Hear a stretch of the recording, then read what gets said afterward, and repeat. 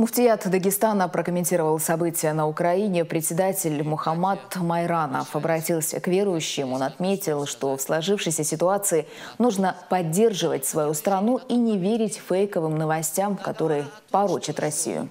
Это спецоперация, которую объявил Владимир Владимирович Путин. Это не от того, что кому-то приятно проливать человеческую кровь.